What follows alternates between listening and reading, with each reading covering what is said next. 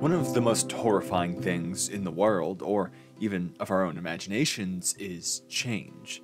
Not just in the way I'd usually mean of philosophical ramblings about consistent self or mental survival, but physically, the actual act of changing, or rather being changed. A forced transformation when survival itself is shifted to something new. From Akira's mass of multiplying flesh, to Trigun's angel arm that destroys cities, to Madoka Magica's witches that arise from wishes, there's endless horror to be found in someone who becomes something. It's often the end of a tragic arc, showcasing how a character mentally became a monster by shifting their physical form in turn, power corrupting all parts of their being, especially the unbeatable link between body and mind striking fear in the worst way. Hell, even Edgerunners, literally set in a post-body world where you can change arms with a snap or download new skills to a slot in your neck, still uses the loss of the body for the character's ultimate fall from grace. We are beings of mind, but forever linked to these shells which carry us. While this is a powerful aspect of so many stories, it's often capitalization on an already established arc, the exclamation point at the end of a powerful sentence. The thematic development ends, and we're left to watch in horror as the consequences of entire stories play out. They're some of the best moments from poignant despair to hopeful resolve. But I wanted to examine why it is this way, why it can be used as such a distinct marker, that is, why we fear transformation to make it so. And for that, we needed a story where the transformation was the beginning and not the end, one which explored coming to terms with a new body, maybe even a new mind within it, a new society around it, and how the minds outside of it may be the reality of the monstrous end that transformation always seems to bring.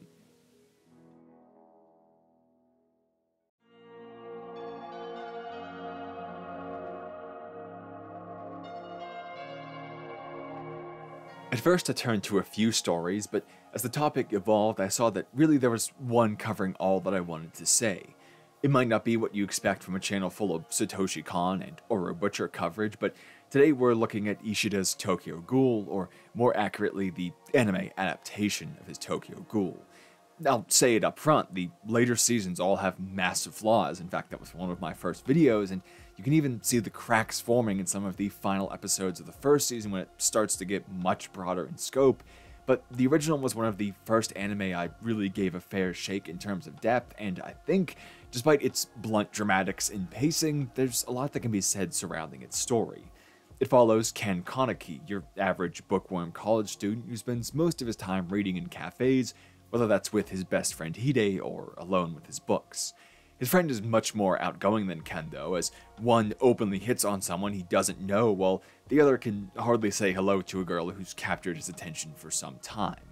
For Kaneki, that's Rize Kamishiro, a girl with similar descriptors, and luckily for him, the same taste in books, since that's how eye contact turns into a date for him.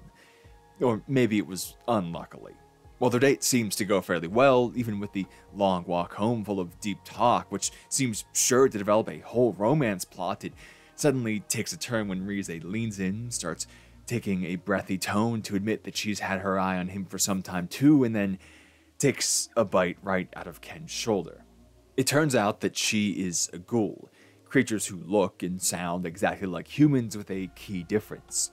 They can only derive nutrition from human flesh. Rize is actually quite a well-known one, the binge eater known for the chaos she causes, some of which she unleashes on Ken, almost killing him. But before the deed can be done, an accident kills her, medical help gets to Ken, and he's saved with the transplant of her organs. He wakes up and recovers quickly, despite his injuries, with only one weird side effect. He can't bring himself to eat anything, as everything he tries tastes downright awful. However, the doctor brushes this off, and a depressed Ken, refusing to see his friend, returns home to see Hide left a care package for him. He goes to lie down and do nothing, though, still missing all his classes, but in his depression background noise, he finds a shocking broadcast. Our food tastes disgusting to ghouls because their tongues work differently than ours do. Of course, he has the realization. He rushes to the kitchen to try and eat every single thing in that care package in the fridge, from sauces to milk, sodas, and burgers, and ends up throwing back up every single one, but rushing back to try even more nonetheless. He can't even bring himself to eat his favorite hamburger, a specific call out in Hide's note. The care of his best friend can't mean anything to him here. This is where we begin to see something more interesting in his character. Of course, no one is going to want to get this information into their mind. It's likely anyone would keep trying again and again, hoping they would find one shred of evidence against what they knew in the back there. But what's more captivating is that very idea that a small scrap of evidence would be enough for one to hold back something so much larger and with so much more backing behind it. There can be a mountain of proof for the thing we don't desire and we'll refuse it, but if we find a single bit of one for the thing that we do, we'll cling to it with endless hope. It's a constant stream of decisions that after every single test, even stabbing himself in the gut with a knife to see if his skin resists weapons like a ghoul's does, he keeps going back for more. And I think that knife test really says the most. He may approach it with chaotic doubt, but would he actually take such a fatal swing if he wasn't sure deep down of what had happened to him? He knows it, he's just not accepting it. So after that, he tries to carry on as if it's nothing new, even as his mind is slowly overtaken with thoughts of killing and eating someone. But he picks up on a sweet smell, one he even thinks of like his mother's cooking and follows it to the origin a ghoul hunched over a corpse desperately feasting. The situation changes quite rapidly, though, as a ghoul named Nishiki shows up and kills the one eating and threatens Ken, before being stopped by another ghoul, Touka, who treats Ken a little bit better than trying to kill him, but begins trying to force him to eat as she gets annoyed with his rejection of survival. The whole time, Ken is back and forth between filling his hunger and refusing the flesh that he's handed without having to kill or harm anyone, even if someone else did. Each time he comes closer and closer, but he swats it away, screaming something like, Well, I won't, because I'm a human! And this is where we see why that single shred can come to define something so strongly. We think of groups as these distinct masses, or at least label them that way. You're short, average, or tall, despite height being a completely analog range defined only by the markers we decide. We count in increments with much more resolution than these three groups and could go even deeper, but we only describe it in three terms. In America, for example, you're from like, the Northeast, the South, the Midwest, or the West, despite those places bleeding into each other and not being very descriptive terms anyway, or say you have family from both, or moving from one to the other, and so on. If you moved around, you know that you'll find elements that blend between them all, but that gradient is lost in those strict distinctions. In this situation, there's either human or ghoul, but there isn't a middle ground in anyone's mind. A ghoul is defined by a lack of humanity. Someone who kills and eats like that has all of theirs revoked in a simple social calculation, no matter if they were human just yesterday and still have all the same traits or not. This is why Ken, and we so often in our situations, cling to these single elements of proof for something that we are or aren't. The decision of our inclusion is made on the basis of these simplified terms. As such, even if someone has ghoul-like traits, like their nearly impervious skin or the Kagune, a weapon-like organ they can produce when needed to fight, are they actually a ghoul if they don't take the usual action associated with one, eating a person? This is trying to flip that simplicity on its head, not to show that one is something, but that one isn't something by holding back from that all encompassing act. If Ken has every other trait of them but never does this, is he a ghoul? We can find this sentiment in his own yells when he says, Part of me wants to shove it in my mouth, but I know I can't, cause if I do, I won't be a human. Showing that he finds this action as the last barrier against him being considered a ghoul and not a human, since there is no in between option. It's an attempt to not meet the criteria. It does make sense in a way. I'm always talking about labels as quite nefarious, even if they are necessary social tools at their base. But when we start to look at labels derived from actions, there's at least a logic to why we do this. We can't look inside someone's head or most times even inside their body. There's no way to understand what someone else is thinking, sometimes even if we directly ask them to express it, because, well, there's just too much abstract space and thoughts and, and differences between minds. However, actions bound by physicality don't have as much nebulous space open for interpretation. We can see what someone does quite certainly, even if we don't know why they actually did it. Mean, say I take this mechanical pencil and throw it over my shoulder. You can guess at why I did it. You'd probably say because I wrote it in the script, but uh, can you say for certain that this section wasn't ad libbed or that I'm not trying to leave a mark on a piece of paper back there for some reason? However, you can say with 100% certainty that I did, in fact, take a pencil and throw it over my shoulder. So we tend to define identities with actions rather than thoughts or feelings because of their ease of observation. But we can say this with observation on the whole, not just with actions. Put simply, for an example, does someone look like they belong in that group? If you hadn't heard me speak or seen my face and I walked around the corner like this, you'd confidently say, well, here comes a man. But if I did it like this, you'd then confidently say, here comes a woman, despite the same exact person being there both times. Uh, the judgment precedes the knowledge. Since actions are a part of this broader group of observation, what Ken is doing is trying to control what he can about his label. He can't help that he looks like a ghoul now with his one eye, or that to other ghouls he smells like one too but he can't avoid ever performing that defining action of feasting on flesh, pulling that definition back a bit. He looks like one, he smells like one, but does he act like one? Since you can't take your thoughts and feelings and place them in someone else's mind, and you similarly can't control what those things of their own say about you, what you're left with is observation, and most prominently, actions. This is the basis of Ken's rejection of becoming a ghoul and why he continued to deny so vehemently despite all the evidence to the contrary. If judgment can be made without real knowledge, then maybe that little bit he can show would mean the world. But we have to also consider why is this a change that he would deny to begin with?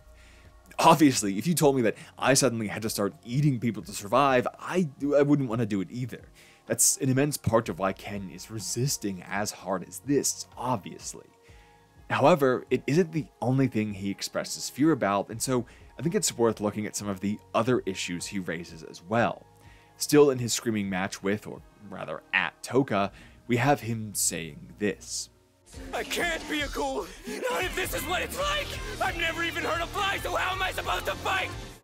What's interesting about this to me is not specifically about having to eat a human, but having to go about surviving in a new way, about having new responsibilities required for your life.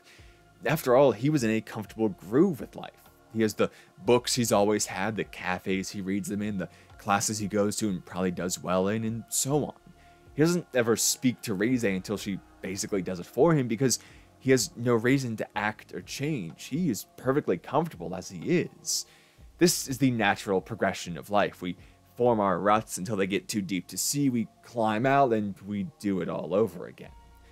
The human being is insanely capable of normalizing. Think about how stressful a new job is, and then six months later, how you can do parts of it without even thinking, or you might even be training others who came after you. You were once terrified of messing up everything, and now you know it was hardly ever even possible to mess them up to begin with. We might not like everything we have, but we can sure as hell get comfortable with it. Then suddenly you end up right back at the new job phase when the change occurs. It's not just that you don't know how to do what you have to do, it's that you don't even know what it is that you have to do. Ken has no idea of what being a ghoul entails because it's always been defined by just eating people. He's never seen their daily life or if they go to school or anything else other than feeding.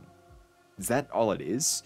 This is the deep end. Everything he knows comes to an end right here, correct? The unawareness and uncertainty is killer, and this fuels his rejection because it's not just not wanting to be a ghoul, it's about not wanting to have to relearn how to live because you are a ghoul. It's like he dies when he accepts this change because, as far as he's concerned, everything he knew about life comes to an end.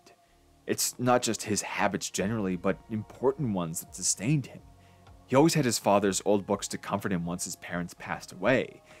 But D- do ghouls like books? Do they do they read? They're supposed to be bloodthirsty monsters, especially if his run-in with Rize and Nishiki have taught him anything. Rize was probably just faking to enjoy it to capture him since she admits it was a long con. There's his favorite hamburger, a food that probably denoted many great nights of his life that's gone forever as well.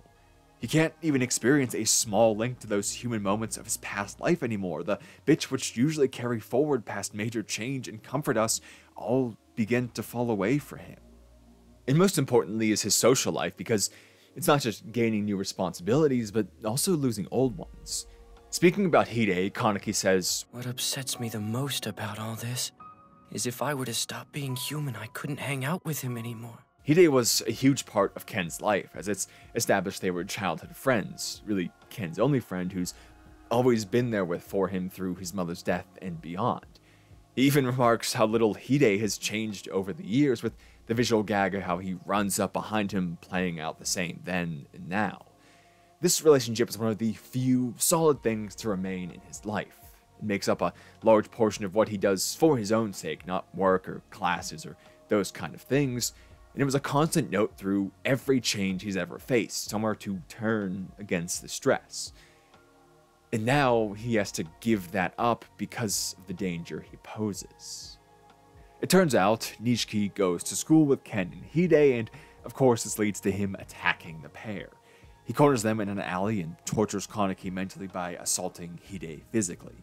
Ken manages to survive, though, through an emotional outburst despite his injuries, where his feelings for Hide force him forwards, but the exhaustion incurred makes his hunger worse. Enough that he comes this close to eating Hide from instinct after just saving him, prevented only at the last minute by Touka once again. Knowing that this is inside of him, he can't bring himself to be around Hide in good conscience. Cutting him out would hurt, but not as much as killing him. If Ken is a ghoul, he has to make the decision to rid his life of one of the only good things to ever persist in it. Of course, he won't want to accept that. But even further, replacing what little sociability he had is no small task because it's not like he can just go out and make more human friends, the people whose world he knows and knows how to communicate with for the same reason. So what's left to him is to make friends with the ghouls. But he doesn't know the world of the ghouls. We've already established that he doesn't have the first clue of what it entails besides eating people. And his only interactions thus far are being attacked by ghouls, with Rize's assault, Nishiki trying to kill him twice, and Touka forcing him to eat. None of them want him around. He has to avoid humans as a ghoul, but has to try and connect with ghouls as a human that they hate. With his split eyes, it's even more obvious to both sides to find something they hate in him. Anteiku, the cafe he frequents, takes him in and feeds him while he's asleep after Nishiki's second attack, removing that last barrier against becoming a ghoul in his mind. He laments this occurrence, saying, I'm alone. I'm not a human or a ghoul. There's no place for me. He's lost all comfort and establishment. Everything is uprooted and he's forced to reconsider and acquaint himself with every single aspect of life all at once. I don't think anyone could accept this, even without the feeding part. We're creatures who purposefully create extra barriers against change in times of stability exactly to prevent situations like this. Even the very basis of a bare bones society itself is similar to this, as it's supposed to provide a baseline against total loss through the sacrifice of certain freedoms. In a way, this is a form of death felt by the living, the loss of everything that defined your life. He has transformed from a human being into nothing.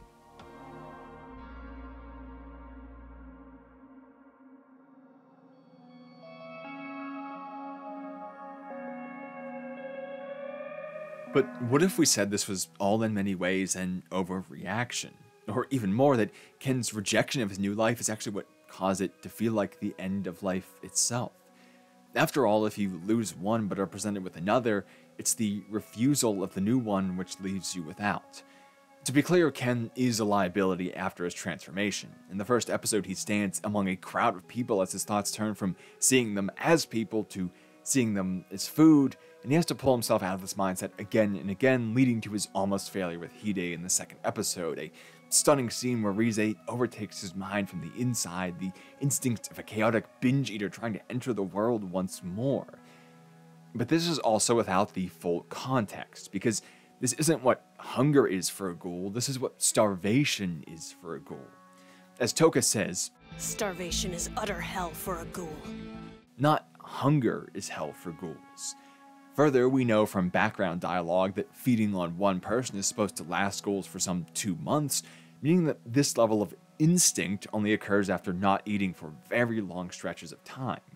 We see this as almost no other ghoul in the season exhibits this behavior, only Nishiki at a later point when he can't get food because Ken left him almost dead and too weak to do so. These are individuals who spend their entire days around people, whether it's serving them in a cafe or learning alongside of them, and no one is the wiser. They can be around people naturally with almost no risk when we look at a wider situation. So the reason that Ken can't isn't because he's a ghoul, but Conversely to how he thought, because he is rejecting being a ghoul and refusing to eat. He's driving himself to the worst of their capacities in order to try and claim that he has none of them. Like many topics we cover, it's a mindset that provides temporary relief in exchange for a much larger cost in the long term. Again, I'm not saying that making the shift to eating as he has to is easy, and that is its own barrel of concerns, but he had moments where he was offered a solution, both messily and cleanly, where he would have to do no harm, and he rejected them all alike. And it was this which led him to almost eating the most important person in his life instead. A transformation like this is awful. It's full of uncertainty and loss and pain and suffering. But rejecting it will only ever worsen those things over time. Like we all know from many things, acceptance is the first step. There's an interesting reason why his condition reaching the extremes doesn't tip him off to this, though. You'd think that staring down such awful possibilities, one would wonder if this is the only way it is. If ghouls all suffered this kind of starvation all the time, then there would be no peace in the world at all, so this couldn't be what normal is like for them. But he's never going to think that way because all he knows of ghouls is tragedy. And so all he'll think is possible of being a ghoul is similarly tragedy. All the news reports about ghouls are the awful cases, summaries of destruction and death. I won't say they're sensationalized because it is a true horrible thing happening, but what I will say is that this being the only information presented, permeating into the public through this kind of background detail that we get in our own world with the news and current events, creates this kind of idea in Ken's mind from a lack of detail. We see that he doesn't even know, or at least doesn't remember, how ghouls' taste works. It's one of the most basic things about them, literally tied to the thing everyone knows that they eat people. It's part of why they have to do that to begin with. But no one knows, or at least doesn't care to know that.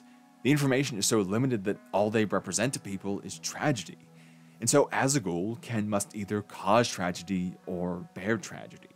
He either has to consume his friends or cut them out. He either has to kill other humans or die to prevent it. Since he believes that something horrible must happen, he's not going to struggle against these things happening to him since it's a protective translation.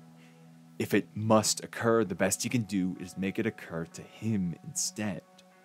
The thing is, it doesn't have to occur. Or at least for what we'll explain now, it doesn't have to occur from them, but we'll see later that it doesn't have to at all. Because there are solutions out there for ghouls to live without having to take food from those who kill others or without anyone in that chain of events having to kill. Anteiku provides a unique solution. On the surface, it has its issues, but again, we'll address that more later. For now, we're just showing that there are options. They collect the bodies of individuals who commit a certain self act that YouTube won't allow you to say, no matter the context or level of respect, and use that to sustain those who either can't or refuse to hunt. Now, they do still mend the territory of their ward for hunting for those who do, but we can at least see that as a best effort to reduce damages dealt by those who wouldn't listen to their authority no matter what. Now, overall, it's still not the most savory practice, it's not all encompassing either. However, it is done with as much respect as possible while still ceding to the necessary secrecy, with even the stone emotion Yomo offering prayer before they go through with anything. This solution still requires that someone dies, however, it does not require that they themselves perpetuate death. After all, Ken is able to live as a ghoul for some time without ever taking a bite of someone himself.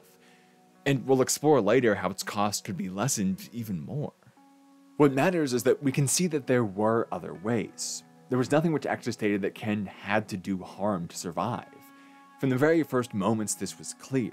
At the very least, he could have lessened the danger he posed, where if he did have to kill, it could have at least been less visceral and personal than killing his best friend. However, this requires not just more knowledge than any average person in his world would reasonably have, but also acceptance. To ask, how can I survive as a ghoul without killing, entails accepting one is one to begin with. He would never find a better solution because he wasn't looking for one. As long as he remains in this stasis of tragedy, things will only get worse for that exact reason. What I'm doing here isn't saying that he should have been better, as any of us would react just as poorly. All I'm doing is simply trying to showcase that his rejection was what led to these extremes of it. By attempting to never become the thing he knew he was, Kaneki made himself the worst version of it that he could have been, hunched over his friend's body and frothing at the mouth, justifying his decision by saying a special friend should be a truly special meal. Any process with this much new will be terrifying, and we should understand the difficulties they place on us and others, and be as understanding as we can during the process for ourselves just as much as anyone.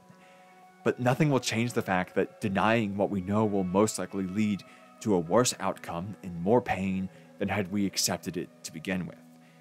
Deep down, we usually know. It's just being able to say the words which confirm the thing that now defines part of us. Where things get even more complicated, though, is that as Ken's journey continues with the ghouls of Anteiku, he finds it isn't as different as it seemed. In fact, he comes to find a lot of humanity in these people he once assumed were monsters. On a small scale, they live lives just as the same as any human. He's working in a cafe with them that he used to go to all the time and was never aware of its secret, where they continued to serve humans and ghouls alike. Yomo and his friends Uta and Itori hang out in the bar like anyone would, with the former owning his own shop that's presumably open to humans just the same to stay afloat. Nishiki goes to Ken and Hide's university and never showed any signs of being inhuman, and Touka goes to high school where it's the same exact deal. When you take into account that Anteiku allows them to eat in a way which is at least humane in presentation and as humane as possible overall considering the circumstances, then you really can't point to much difference in their lives, unless those differences are provoked by the CCG, the police force dedicated to the eradication of ghouls. Ken even thinks to himself at some point, Why are all these ghouls suddenly popping up around me? They've always been here, I've just never noticed because there is so little distinction. Physically, I mean, they're essentially living the same lives. But it goes deeper than just the physical way they go about their days and extends into the connections they make and the feelings they express. Touka will force herself to eat human food to respect the efforts of a friend. Nishiki is willing to fight and die for a human he loves, who's even aware that he's a ghoul and let her eat from him to save him when he was too weak to hunt. And there's most prominently Hinami and her mother Ryoko. They're a peaceful family cared for by Anteiku who are launched into tragedy when the father, a ghoul doctor, is hunted down and killed, leading the CCG to see the dwellings of an entire family and keep searching to kill the rest. We're talking about stuffed animals that a child would have, drawings of a happy family in crayon, clothes all about in the chaos of family life with a young child packed into this small space. Hinami and Kaneki connect over literature as he geeks out about her reading his favorite author and he begins to teach her the words she's unfamiliar with in the books to such a genuine excitement. And that's especially of note because this is the same kind of thing he enjoyed as a human, enjoyed even in the same exact way as it was beforehand. One of those rocks he was afraid of losing is exactly as it was. But things don't stay very peaceful as he has to hold Hinami back when her own mother is killed in front of her and later even used as a weapon against her. The tools the CCG use, their quinquets, are made from the ghoul's kagunes. Despairing at the loss of her father and mother in such a short time, she can only say things like, Ghouls in the world don't mix. We can't live like this. I just want to go wherever Mama went. It's undeniably human in every single way, from how the connections are made and felt to the emotions expressed when they're lost. In all these people he sees love and hate, trust and suspicion, gain and loss alike, the same you'd see with any human life. Both on the outside and inside, ghouls are much more human than Ken ever expected. He didn't have to give up anywhere near as much of his humanity to live in their world. He can even keep being friends with Hide. This means that both platforms for his rejection and both criteria for judgment, those physical aspects others use to label and the emotional ones we use on ourselves, fail to really distinguish these worlds. What Ken was rejecting only had to be food, not at all the disaster it seemed, and nowhere near the chaos it caused him internally by rejecting it. The only real difference then is how they're seen. Is that really what causes all this pain? What causes two worlds to begin with? Just simple mentality?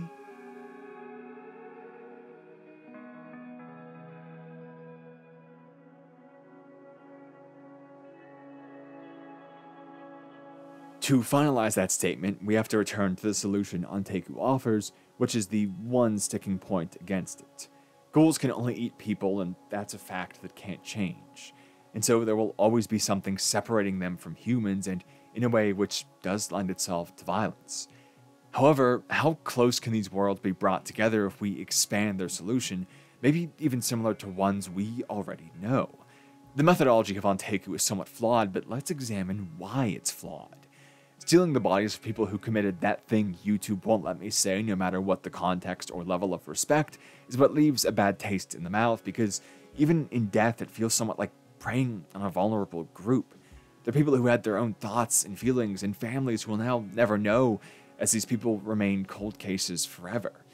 However, as we said, they choose this specifically because it's the option where no one is killed from their actions and secrecy is maintained that forever uncertain nature is required since the CCG would immediately be on the case of known deaths with suddenly missing bodies. This means that in their quest to exterminate or drive out every ghoul, the CCG is actually creating the most unlikable aspect of Anteiku's solution.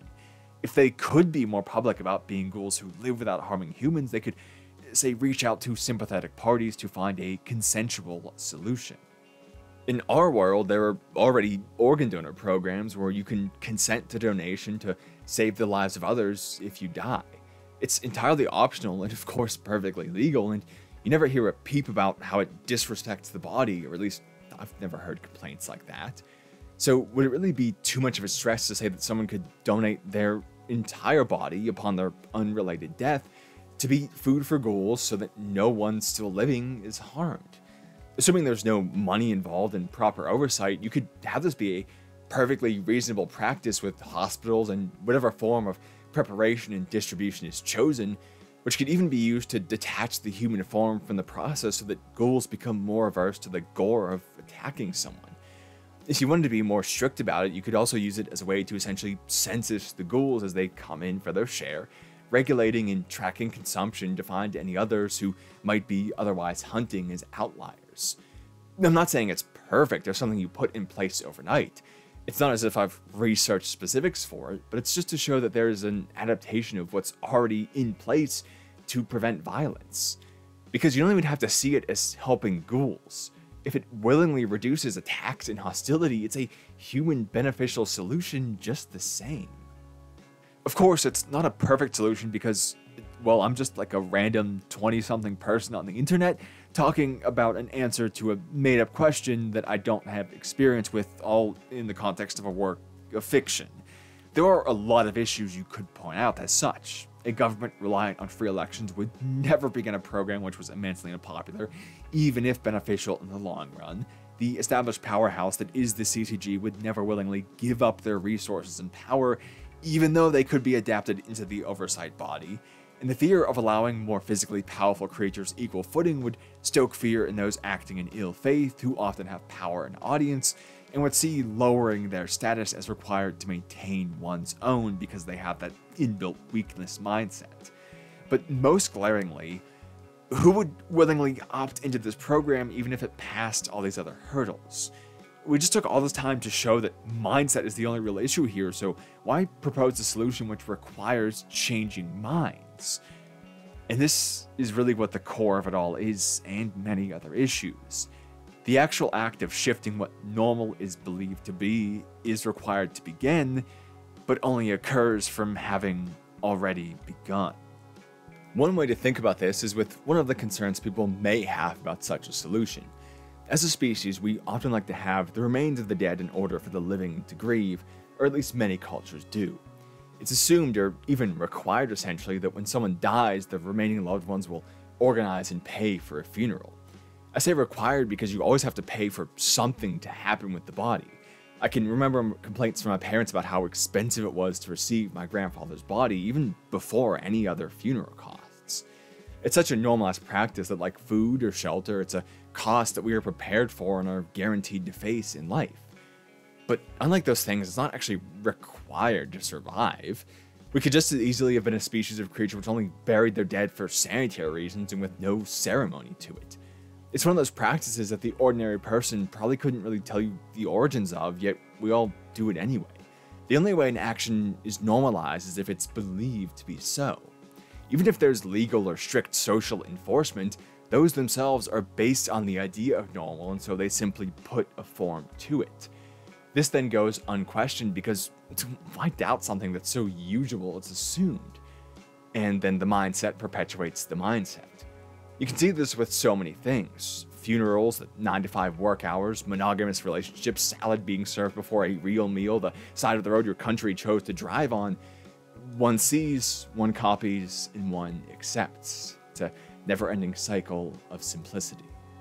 And so, this is where we come to the real tragedy of it all. There's a prevailing mindset of ghouls are monsters, which we saw so heavily in Kaneki that he believed it would bring about the end of everything human in his life. But as the story progresses, he sees even more human aspect in the ghouls again and again, eventually reaching the point where he can say, I'm more ghoul than human these days. Without hesitation, due to everything we covered about how similar they are, both in observation and in abstraction. It's only from living a life he never knew and never wanted to know that he's able to see this truth.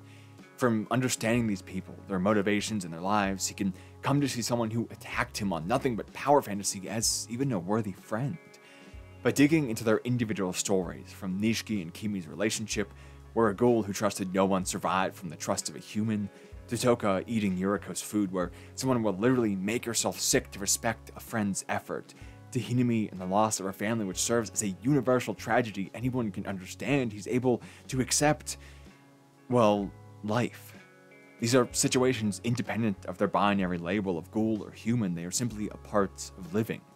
The only way to know it is to feel it, to have some basis in one's mind where they can understand what's going through the mind of another. For example, to know loss so one can comfort loss. It comes back to the inability to understand those abstract elements. We can't know until we know. This is something expressed in Ken's first meeting with Touka as a ghoul, where he rages about having to live the only kind of life she's ever known. In a calm moment, though, she says, I've always wondered why humans love cake. You guys sure seem to enjoy eating it. It tastes so disgusting to me that it makes me want to puke. Despite being a somewhat silly line, its simplicity expresses this important concept through something we all know taste.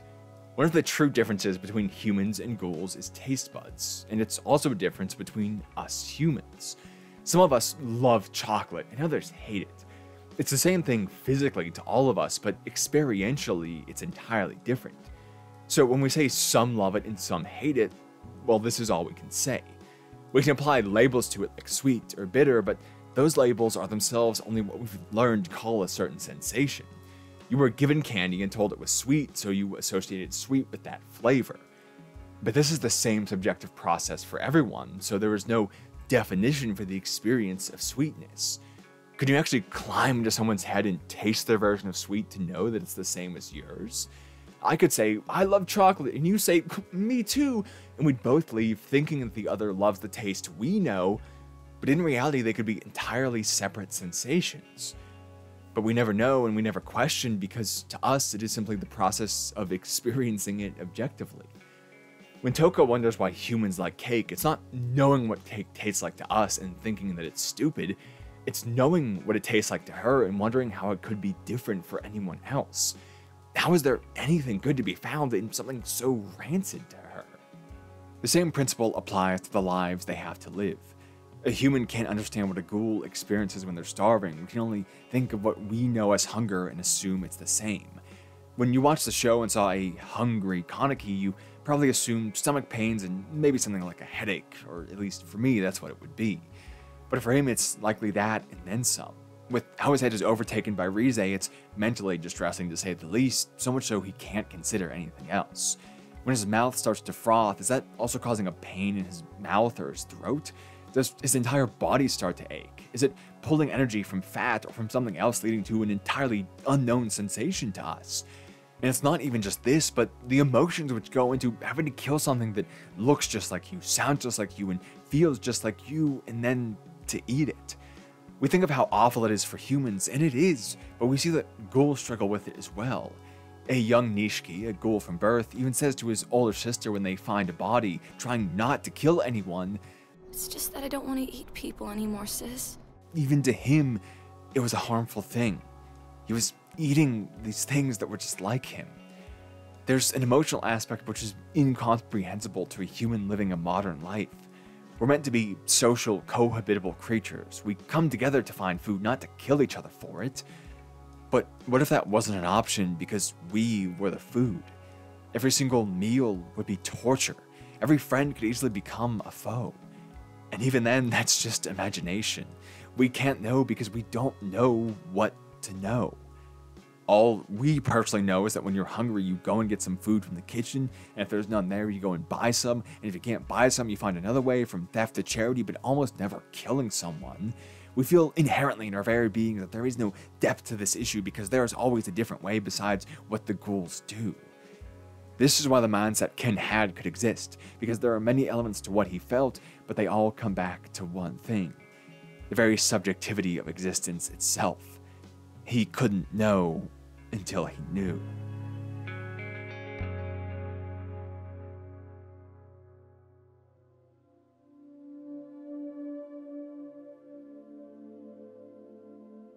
So we reach that question at the heart of Kaneki's initial rejection again.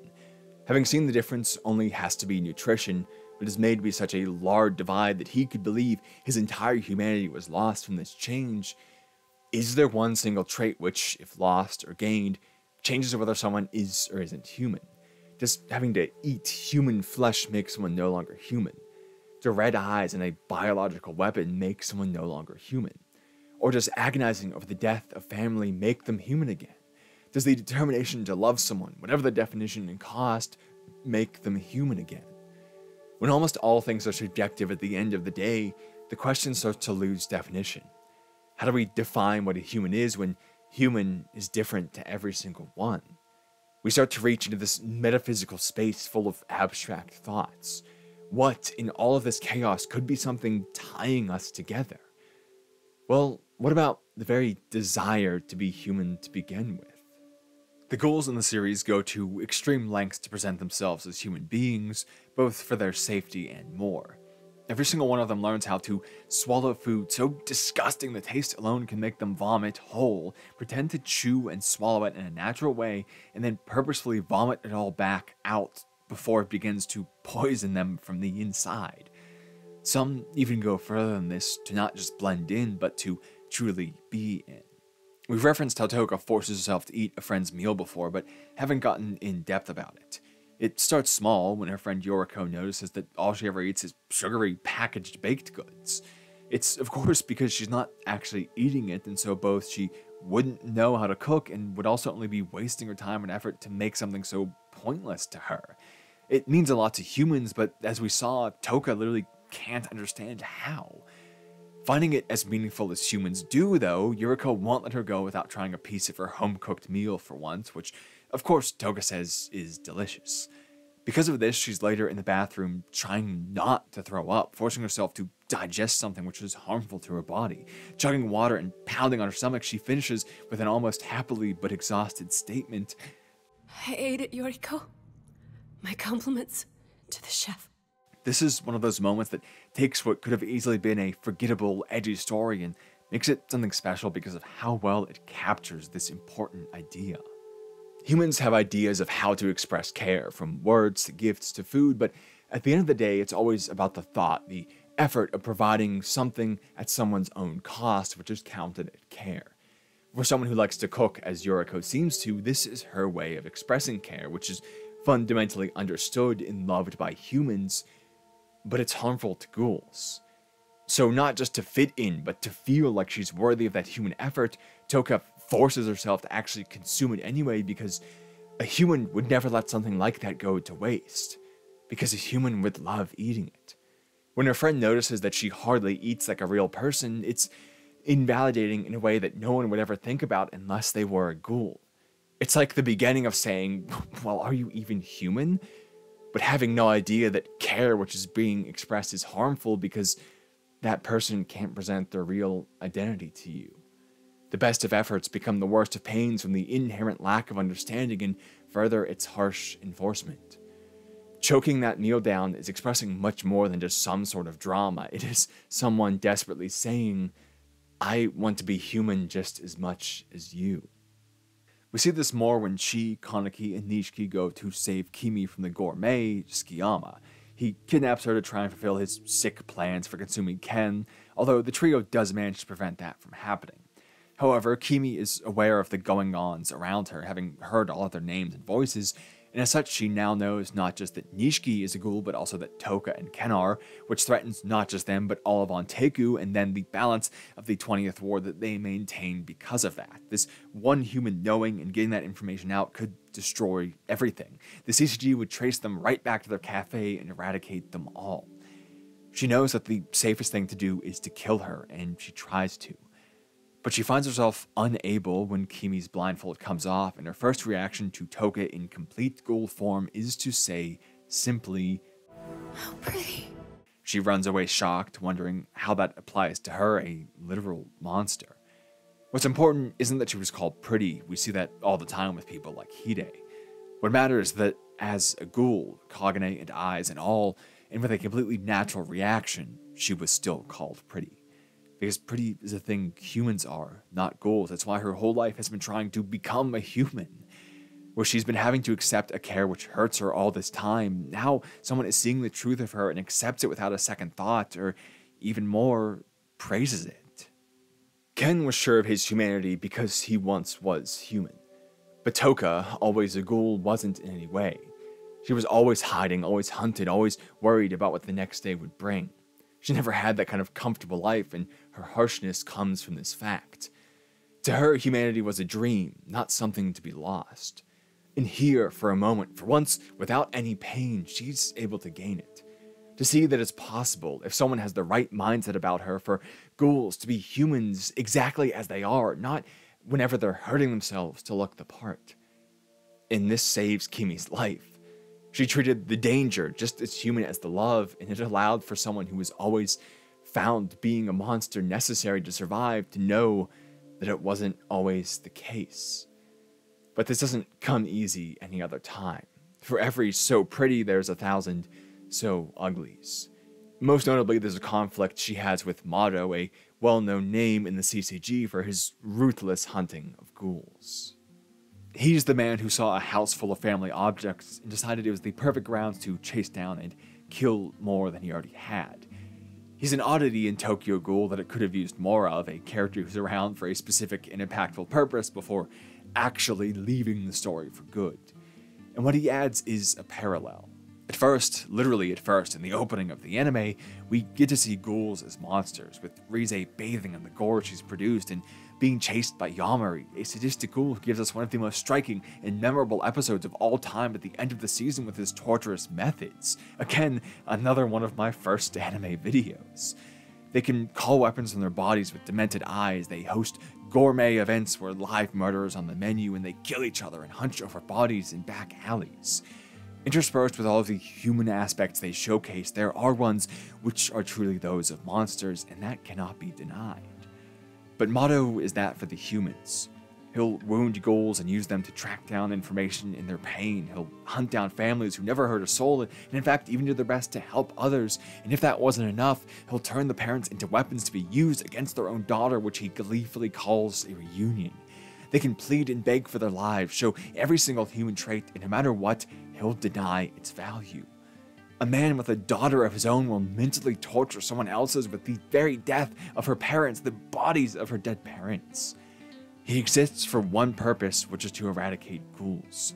While even the original season hints at his vengeful motivations for doing so, whatever the case, we see what we see a human monster. Where Touka is hurting herself to be human, he's hurting others but claiming to be doing the same thing. So, can we really say that those inhuman traits of the ghouls are of the ghouls? There are humans who do just the same, hunting down others with demented eyes, carrying literally the same weapons that they do, and I think even worse, because they're making the decision to carry them. They choose to live this kind of life, they have humanity and give it up. As Touka so often expresses, she never had that decision to make. How are we supposed to live by your rules when our bodies won't let us? I don't want much. I just want to live my life the same way you do. Mado doesn't even flinch at her statements, though. He'll never believe anything they do, even when it seems so human. It couldn't be so, it must just all be an act. But as things progress and Hinami saves Touka, who goes on to repay the favor, Mado is killed and they live. Disgusted by his gloves, since they represent how he finds them so disgusting and refuses to even let his skin make contact, she rips them off to find a wedding ring underneath. And despite being so simple, it kind of sends her into shock from what it means. But this means that even someone like him, a monster, had people at home who loved him. A wife, at least, and as we see, a daughter who loved him as well, and even the man who mentored Amon who despairs just as much. She'd killed a CCG investigator just before this as well, leading to this whole chain of events, and probably begins to see the same thing about his death, which we know from his friend's great mourning that it is a true loss. And this is true about every death. There is no such thing as a safe kill. She treated Mado as he treated them, although I would argue the reasonings do create a difference. But either way, there is no one who leaves the world without some amount of sadness even monstrous people who love them. Hinami's experience with losing a parent is felt just the same across their gap to Mado's daughter. The quest to protect one's humanity only led to the loss of it in every single case because there is no one definition, no set of traits which say true or false. It's all just justification for actions against others. That's all the labels provided. This is what Ken's journey evolves to the fear of transformation subsides as he sees that the mindset is the biggest difference and he can be just as human as he was before.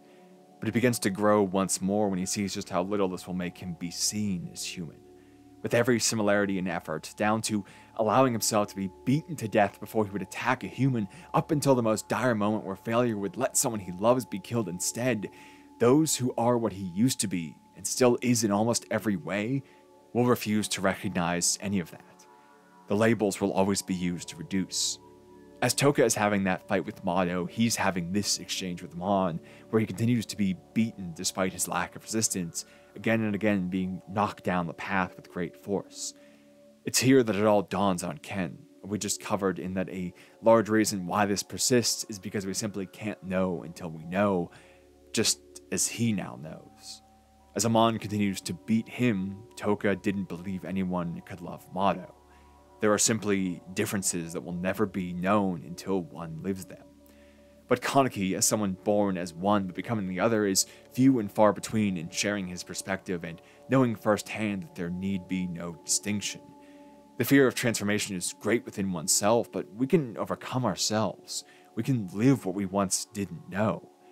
The hardest part is convincing the world to do the same right after we've witnessed firsthand the only solution and how much difficulty it's fraught with. We have to begin a change which requires itself to start. And this is why the series goes on for so long and into such unconvincing directions, with one of the few positive notes being that it doesn't make Ken's journey to unite both sides easy. His own mentality shifts, even within the first season, as he goes from thinking, It's not the world that's messed up, it's those of us in it. to breaking from torture and saying instead, What's wrong? Is this messed up world? It's a challenge that isn't overcome in a day, and one with such harshness that many would do as he goes on to do and care only for the ones they love, the world be damned. Because saving what little you love will always be easier when you don't love the whole world. The quest is tough enough that it will wear down the ones who are forced to face it very easily. And I think that's where what I have to say ends. The series starts to fall apart after episode 8, to be honest, and the focus on the transformation dies down after this, so what I needed from it is done, at least. And as always, this was, of course, what I gathered first most wholeheartedly from the series, but also what I needed to say myself. The problem is, I don't have an answer. The fear of transformation is only past the first stage, the internal one, which is what I intended to write about, and only through writing it did I truly come to terms with the second one, the much harsher one, which I didn't intend to write about. I don't know how to face that world. Even if I am assured of my own humanity, I know others won't be. To say I have an answer to that would be childish, and I know one mind can't stand up to the world of minds whether that's to change it or simply to survive it. The most I can do is speak about it and try to break the pattern of normal creating normal, that we can't know until we know. The most important part is how Ken had to live in this new world before he could even understand the true fear and tragedy of transformation, to see that it both wasn't what he feared and also that there was still so much to fear. We can't all do that. We can't all change into something else just to know. But we can try some of it. We can talk to those who have and listen to their stories and accept their words. We can wonder what makes someone human so that we're sure we don't lose those important things. We can broaden our horizons to see that such a thing is most often simply the desire to be so, and that if someone is willing to accept the inherent pain of humanity, to take even more of it on to be themselves, how could they not deserve what little benefit humanity provides in return? Asking what a human is may be the most human thing we can do, the very act of self discovery itself. And I guess that means the answer is simply to live in the pain that awareness brings. Because eventually, if everyone is there, it won't need to bring pain anymore.